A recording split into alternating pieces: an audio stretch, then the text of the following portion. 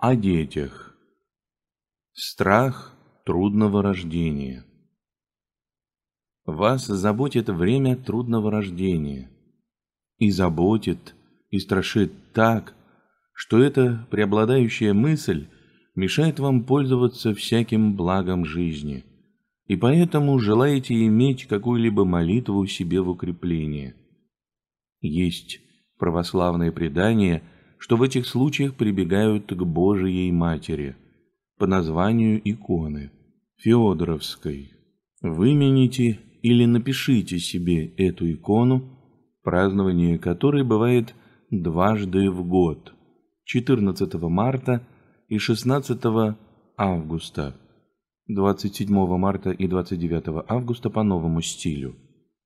Если пожелаете, то можете накануне этих дней вечером совершать домашнее бдение, а в самый день молебствие с акафистом Божией Матери. По усердию можете совершать это и в другое время, как пожелаете. Можете ежедневно и сами молиться Царице Небесной, читая ей не менее двенадцати раз в день «Богородица Дева, радуйся», хоть с поясными поклонами столько же раз читать и кандак ей. Не имамы иные помощи, не имамы иные надежды. Разве тебе, владычица, ты нам помози? На тебе надеемся и тобою хвалимся. Твои бо есть мы раби, да не постыдимся. Обязанности крестных родителей – от восприятия младенцев при крещении не должно настойчиво уклоняться. Нас судить будет Бог Всеведающий, которому вполне известно, сколько могут назидать духовных детей восприемники в настоящее время. Впрочем, обязаны они часто молиться за детей своих, чтобы Господь удержал их на пути благочестия, и не попустил совершенно уклониться от стезей спасения. И вообще, молитва всеведущему и всесильному Богу за близких нам людей должна приноситься со смирением, где невозможно помочь делом и советом. Заповедь имеем молиться друг за друга. Да исцелимся. О подкинутом младенце. Нисколько не смущайтесь тем, что к вашему дому подкинули младенца мужского пола, и не избегайте христианского дела оказать этому ребенку возможную с вашей стороны помощь и содействие. Сперва в простом воспитании, а если Господь Бог продлит его жизнь и вашу, то и в христианском наставлении, чтобы самим получить за это милость от Господа. В Священном Писании сказано «Блажен, и же им и теме в Сионе».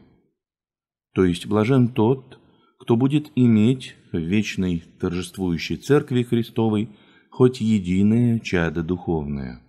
Вы пишете, что можете дать этому ребенку воспитание в добром бездетном семействе, помогая как ему, так и тем, которые будут его воспитывать. Хорошо сделаете, если поступите так. Пишите также, что можете его усыновить себе. Формальности этой не советую вам делать. А прежде всего постарайтесь дать ему христианское воспитание, а при этом и образование, не высокое и блестящее, а потребное к делу, чтобы ему быть практичным человеком, могущим добывать себе хлеб насущный. А во-вторых, можете его обеспечить соразмерным денежным капиталом, положив этот капитал в какой-нибудь банк с таким условием, что если этот ребенок доживет до совершеннолетия, то сможет его получить. Если же он умрет прежде совершеннолетия, в таком случае местное общество или местное начальство должно разделить этот капитал вдовам и сиротам по усмотрению. Проценты же с капитала могут пойти на воспитание мальчика теми, кто возьмет его под опеку. Христианское воспитание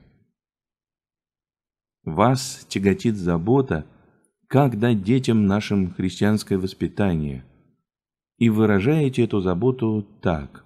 Всякий день на опыте вижу, что не имею достаточно твердости к исполнению долга по совести и чувствую себя весьма неспособной сложить душу человека по образу и по подобию божественного учения.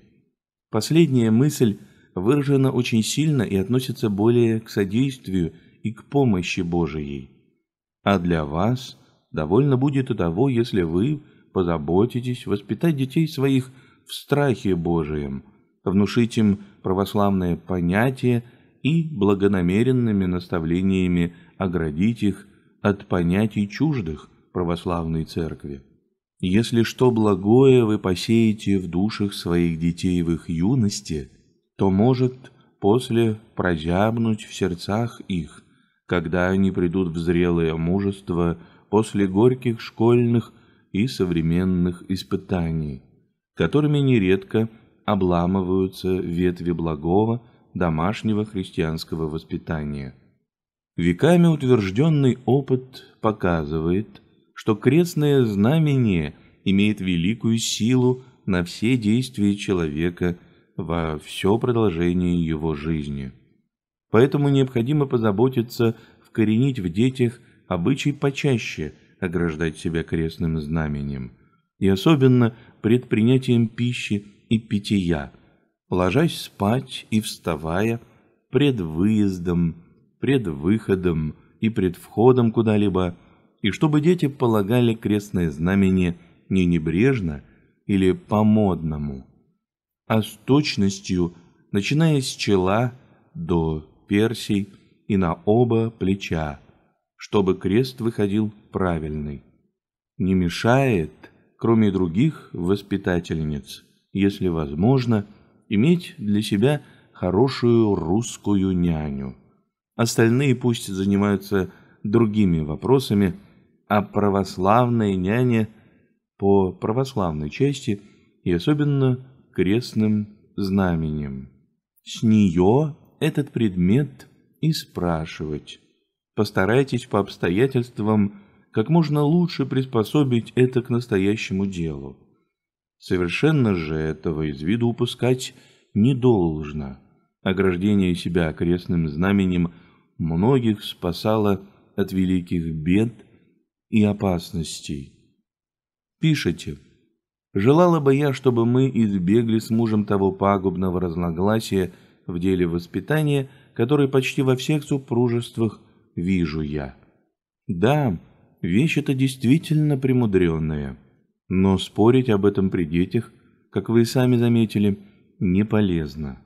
Поэтому в случае разногласия лучше или уклоняйтесь и уходите, или покажите, что не расслышали, но никак не спорьте при детях о своих разных взглядах. Советы рассуждения об этом должны быть наедине и как можно хладнокровнее, для большей действенности. Впрочем, если вы успеете насадить в сердцах ваших детей страх Божий, тогда разные человеческие причуды не могут так зловредно действовать на них. Замечайте в сыне вашем сухость или недостаток чувств и другие несовершенства. Но в детстве вообще не у многих бывает истинное настоящее чувство, а большей частью оно проявляется в более зрелом возрасте, уже тогда, когда человек больше начнет понимать и кое-что испытает в жизни. Притом избыток внутреннего чувства незаметно служит поводом к тайному возношению и осуждению других, а недостаток чувства и сухость невольно смиряет человека, когда он станет понимать это. Потому много не огорчайтесь тем, что замечаете в сыне вашем этот изъян. Со временем, может быть, и в нем неизбежные в жизни испытания пробудят должные чувства. А только позаботьтесь о том, чтобы передавать ему по возможности обо всем здравые понятия, согласно учению православной церкви. Пишите, что до сих пор сами занимались с ним и прошли с ним священную историю Ветхого Завета. И спрашиваете, как и чему его учить и кого избрать для него. Пройдя с ним Ветхий Завет, вам самим должно закончить это дело, то есть перейти к Новому Завету. Потом уже начать катехизическое учение. Вы боитесь, что сухость катехизиса не прибавит ему теплоты. Катехизис никому не прибавляет теплоты, а довольно того, чтобы дети имели правильные понятия о догматах и других предметах православной церкви. Если желаете, чтобы православное учение действовало и на сердце сына вашего, то читайте с ним православное исповедание и училище благочестия, а законоучитель пусть обучает его по катехизису, принятому в учебных заведениях. Вы затрудняетесь с выбором и назначением духовника. Чтобы своего духовника не огорчить, наперед сами объясните ему все то, что находите нужным и полезным для вашего сына, с прибавлением прошения исполнить это, так как по вашему сознанию для ребенка нужна священная обстановка на исповеди, хотя для понимающего она особенного значения не имеет. Перед исповедью и сами вы займитесь вашим сыном и приготовьте его к этому таинству, как сумеете. Заставьте его пред исповедью прочесть заповеди с объяснением. Касательно исправления его недостатков вообще – можете ему говорить иногда полушутливым тоном. Ты ведь, молодой князь, через такие поступки не ударяй себя лицом в грязь. Вы глубоко уверены, что нет для человека иного источника благополучия на земле и вечного блаженства на небе, кроме Церкви Христовой, и что вне оной ничто, и желали бы передать это убеждение детям своим – чтобы оно было как бы сокровенной их жизнью. Но вам кажется, что не имеете призвания учить и не можете говорить с должной силой убеждения об этом великом предмете. Как мать чадолюбивая, сами передавайте сведения об этих предметах вашим детям, как умеете. Вас в этом заменить никто не может, потому что другим – вы должны сначала растолковать ваши понятия и желания. Кроме того, другие не знают ваших детей и их душевное расположение и потребности. И при том слова матери более могут действовать на них, нежели слово постороннего человека. Наставления других действуют на ум, а наставление матери – на сердце. Если же вам кажется, что сын ваш многое знает многое понимает, но мало чувствует, то, повторяю, не огорчайтесь и этим, а молитесь Богу, да устроит полезное о сыне вашем, як уже весть. Вы пишете, что у него прекрасная память. Пользуйтесь и этим. Передавайте ему, кроме наставлений, душеполезные повести и время от времени спрашивайте его, чтобы он вам повторял как помнит и понимает. Все, что он от вас услышит, будет сперва хранить в его памяти и уме, а потом с помощью Божией при содействии опытов в жизни может перейти в чувства.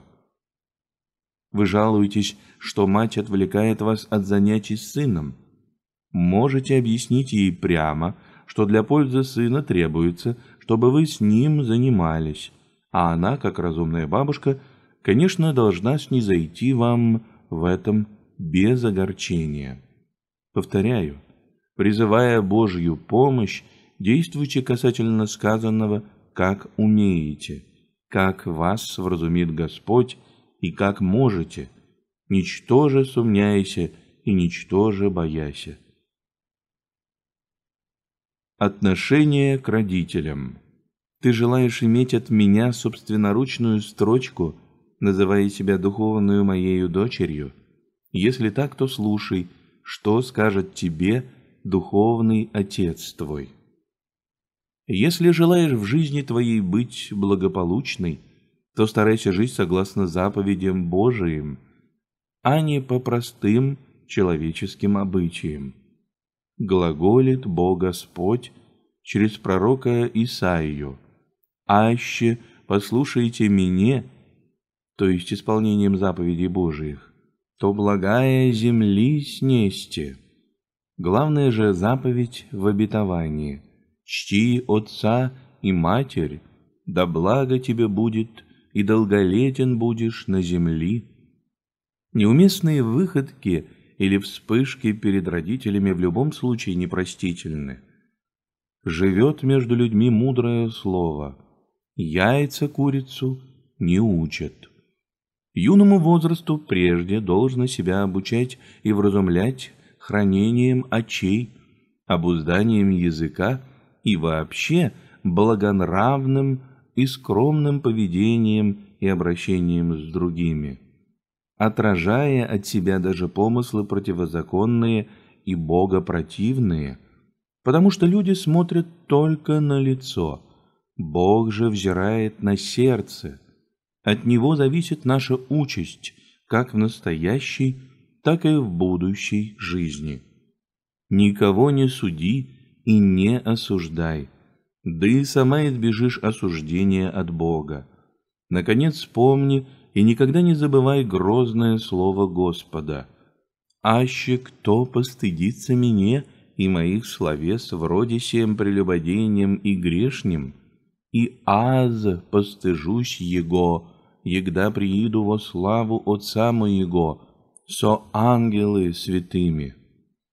О почтении к старшим сказано в Писании «Старцу пакости не твори». Тем более дети обязаны всячески почитать своих родителей, стараясь успокоить их всем, что не противно заповедям Божиим. О чтении. Мнение мое в отношении занятий чтением такое, чтобы прежде всего занимать юный ум священной историей и чтением житий святых по выбору, незаметно насевая в нем семена страха Божия и христианской жизни. И особенно нужно с помощью Божией суметь ему внушить, как важно хранение заповедей Божиих и какие бедственные последствия бывают от нарушения он их. Все это выводить из примера прародителей наших, вкусивших от запрещенного древа и за то изгнанных из рая. Крыловы басни можно оставить до времени, а пока занимать ребенка изучением наизусть некоторых молитв, символа веры и избранных псалмов, например, «Живый в помощи Вышнего». Господь, просвещение мое и подобных. Главное, чтобы ребенок был занят по силам и направлен к страху Божию. От этого все доброе и хорошее, как и напротив, праздность и невнушение детям страха Божия бывают причиной всех зол и несчастий. Без внушения страха Божия, чем детей не занимай – не принесет желаемых плодов в отношении доброй нравственности и благоустроенной жизни. При внушении же страха Божия всякое занятие хорошо и полезно. Особенные тонкости и предосторожности не совсем уместны. Нужно вести дело проще, с надеждой на помощь Божию, которой и всегда просить должно. Читая духовные книги без указания, вы опасаетесь, как бы вам не впасть в какие-либо неправильные мысли и неправильные мнения. Опасение ваше весьма основательно. Поэтому, если не хотите бедствия душевного, не читайте без разбора всякие новые сочинения, хотя и духовного содержания, но таких авторов, которые не подтвердили своего учения святостью жизни. А читайте творения тех отцов, которые признаны православной церковью за твердо известные и без сомнения назидательные и душеспасительные. Чтобы не потерять твердое православие, возьмите в руководство себе и детям книгу «Православное исповедание Петра Могилы». Рассмотрите ее со вниманием и с отчаянием, и написанное там содержите в памяти твердо, чтобы и самим хорошо знать дело своего спасения и знать, что нужно сказать и указать детям в приличное время. Второй книгой в этом роде да будет летопись или четвертая часть творений святителя Дмитрия Ростовского. За нею и прочие части его творений читайте не только для руководства относительно правых мнений и разумений, но и для руководства в самой жизни, чтобы знать и уметь, как, когда должно поступить чисто по-христиански, согласно православным постановлениям. Для этой же цели читайте книгу Аввы Дорофея, которую по справедливости называют «зеркалом души». Это зеркало покажет каждому не только его действия, но и самые движения сердечные. В посты, и особенно в дни говения, прилично и полезно читать творение Ефрема Сирина в русском переводе, выбирая главы о покаянии. Остальное в его творениях можно читать во всякое время. Не мешает также повторять главы о покаянии. Чтобы более утвердиться в православных понятиях, советовал бы я вам прочитать со вниманием и с отчаянием все творения нового угодника Божия, святителя Тихона Задонского. Слог их, хотя и тяжел, но вы при чтении старайтесь обращать ваше внимание более на мысли и на предлагаемые христианские правила. Чтение двух русских светил, святителя Дмитрия Ростовского – и святителя Тихона Задонского многое вам разъяснит и хорошо вас утвердит. К этому прибавьте и слова апостола Павла. В научение странно и различно не прилагайтесь, добро бо благодатью утверждайте сердца, а не брашны. От них же не прияше пользы, ходившие в них. Евреям 13-9 стих. И в другом месте. «Аще мы» или «Ангел с небесе благовестит вам паче, еже благовестихом вам анафема да будет». Галатам 1-8 стих. Крепко держитесь за это свидетельство и не соглашайтесь принимать никаких новых учений, как бы благовидно они ни были – подражая хорошо знающему все признаки и приметы чистого серебра, который скоро примечает примесь всякой лигатуры и нечистое серебро, отвергает.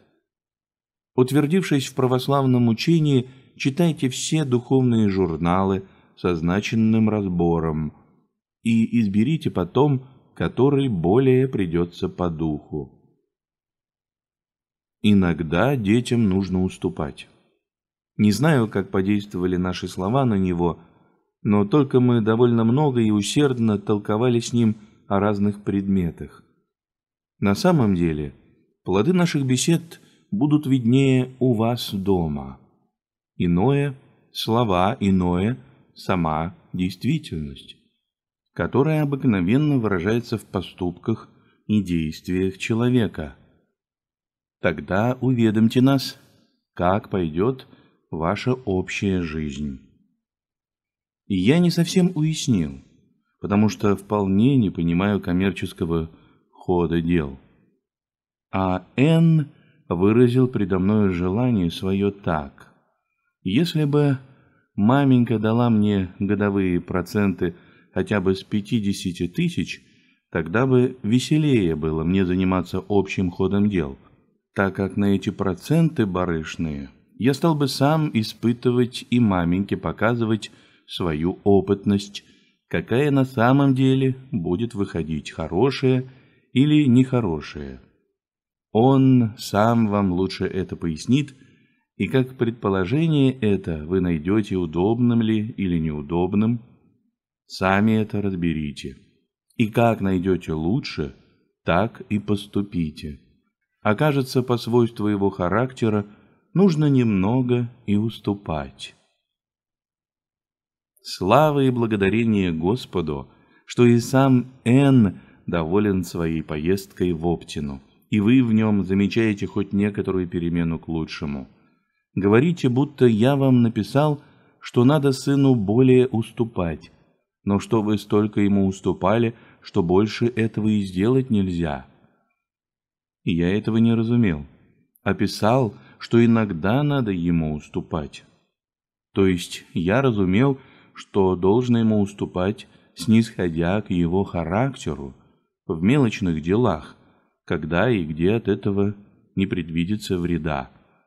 А в чем находите его желание несообразными с делом, можете при случае свои мысли объяснить ему.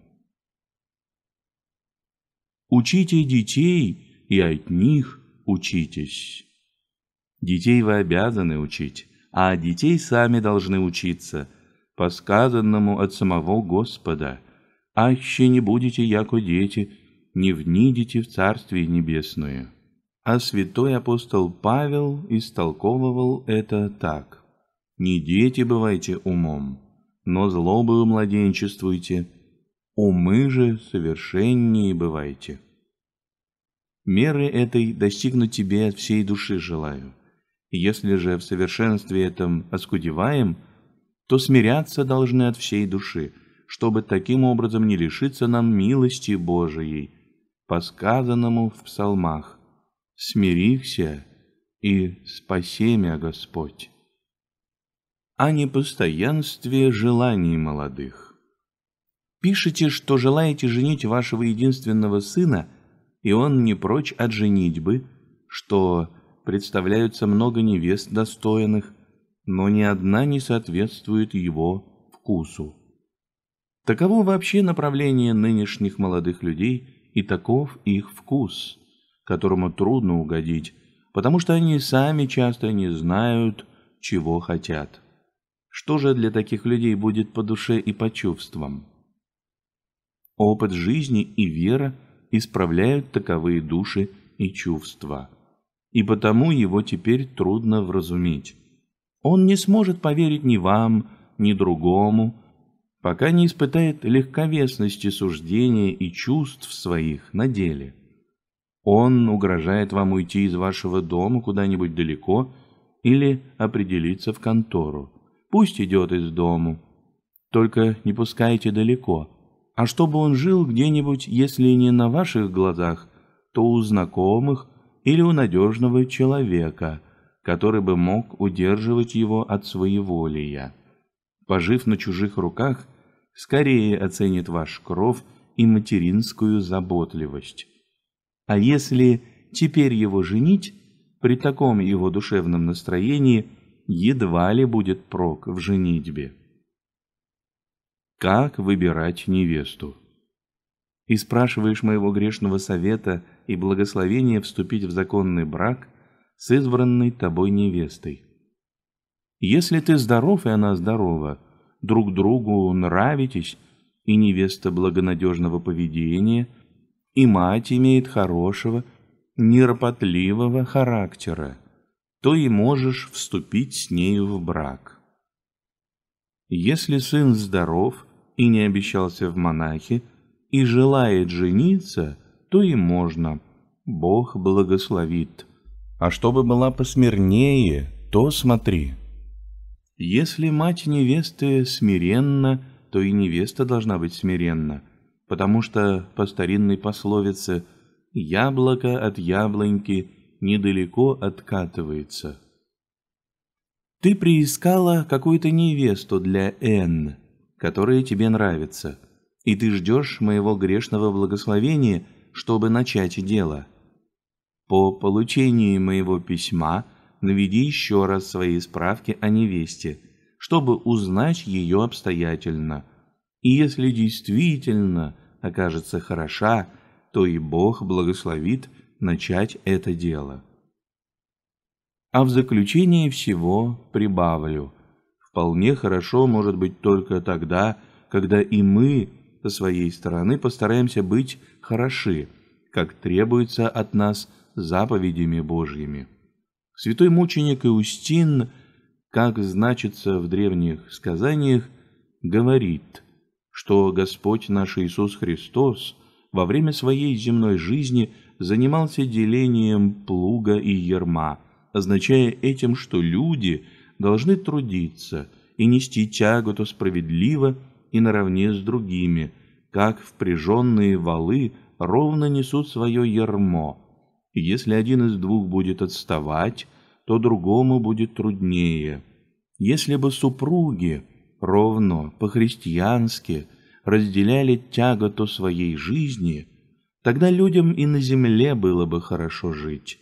Но как супруги часто бывают упруги, оба или один из двух, то и наше благополучие земное не делается прочнее. Не оставляйте сына праздным. Если сами намереваетесь заняться предлежащими делами, а сыну с женой думаете выдавать сколько-нибудь на содержание – то советовал бы я вам, чтобы сын ваш был не совсем праздным. Купить для него имение для занятий хоть каким-нибудь хозяйством, чтобы не быть ему в праздности и без дела, потому что праздность есть начало и причина многим порокам и многому злу. Помоги вам, Господи, терпите, принимая это как от руки Божией. Как приучить к серьезным занятиям? Спрашиваешь, как приучить питомицу твою к серьезным занятиям, но сама знаешь трудность твоего дела. Особенно мудрено советовать издали, когда не знаешь, как будут приняты наши слова. Предложи сперва, чтобы из дня сделали день, а из ночи – ночь. А когда в этом будешь иметь успех – тогда можно будет думать и о другом. И вообще, соображаясь обстоятельствами, делай, что можешь, призывая помощь Божию и содействие свыше от Господа, еже хочет всем спастися и в разум истины прийти.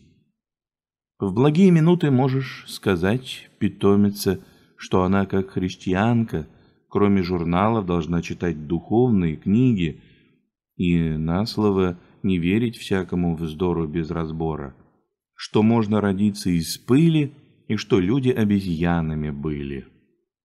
А вот это правда, что многие люди стали обезьянам подражать и до степени обезьян себя унижать.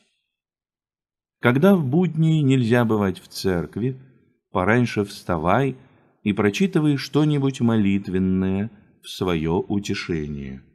Неопределенным положением своим не смущайся, а жди с терпением устроения о себе промысла Божия. О справедливом завещании. Слышу, что вы написали духовное завещание, в котором назначили двум сыновьям большую часть капитала, а двум другим сыновьям меньшую при написании духовного завещания следовало бы вам попомнить апостольское слово. Подражатели бывайте Богу, яко чада возлюбленные. Потому что Бог и пришедшим в единодесятый час повелел дать ровную часть сработавшими от двенадцатого часа жизни, не повинув, яко беззлобивый, противление и прогневание последних. Тем более, что сам Господь в евангельском учении увещевает всех глаголе «А щебо отпущаете человеком согрешение их, отпустит и вам Отец ваш Небесный. Аще ли не отпущаете человеком согрешение их, ни Отец ваш отпустит вам согрешений ваших». Рассудите хорошенько это великое слово Господне при настоящем вашем болезненном положении. Не придет ли вам благое желание изменить духовное завещание ваше – назначив всем детям части поровну. А такая путаница не даст покоя душе вашей в будущем веке. Вот как думаю аз грешный, так опишу вам, убогий мой совет. Вы же рассмотрите сами снова дело это и здраво обсудив его, сделайте так, как будет полезно и душе вашей, и всем детям вашим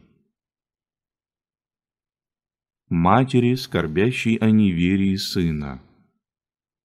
Подав однажды нищему милостыню о здравии вашего сына, смутились, когда он стал молиться об упокоении его. Не смущайтесь этим. От ошибки или недоразумения нищего не могло и не может произойти ничего противного для вашего сына. И ничего большего и лучшего нельзя пожелать, как в свое время сподобиться Царствия Небесного. А что вы в скорби своей о сыне иногда думали, что лучше было бы для него умереть, нежели жить так, как он живет? За это укорите себя и с полной верой предайте и себя самое, и сына вашего, воле Всеблагого и Премудрого Бога. Если Господь, чьи дни сохраняет, то благодетельствует, если чью жизнь пресекает, то снова благодетельствует. И вообще, по слову Святой Церкви, Господь глубиной мудрости человеколюбно все устраивает и полезное всем подает.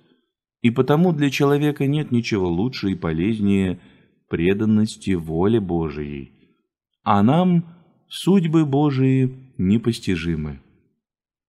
Вы сознаете, что многим сами виноваты, что не умели воспитать сына как должно. Такое самоукорение полезно, но, сознавая вину свою, должно смиряться и раскаиваться, а не смущаться и отчаиваться. Также не должно вам очень тревожиться мыслью, будто вы одна, невольная причина теперешнего положения вашего сына. Это не совсем правда – Всякий человек одарен свободной волей и сам за себя должен будет отвечать пред Богом. Спрашиваете, не написать ли вам на удачу сыну в Москву и как ему написать, чтобы тронуть его сердце? Напишите ему сперва вкратце, чтобы узнать, где он теперь находится. А когда узнаете, то можете написать и подробнее. Можно тогда ему сказать, что он теперь, вероятно, собственным опытом испытал, к чему ведет безбожие и вольнодумство, что, стремясь к необузданной свободе, он забыл, что от греха, особенно досаждения родителям, произошло рабство, которого прежде не было на земле и тому подобное. Молясь Богу, пишите, как Господь положит вам на сердце. И вообще, вам должно теперь не столько заботиться о его вразумлении, сколько молиться за него, чтобы сам Господь ими же весть судьбами вразумил его. Велика сила материнской молитвы. Вспомните, из какой глубины зла извлекла блаженного Августина молитва его благочестивой матери.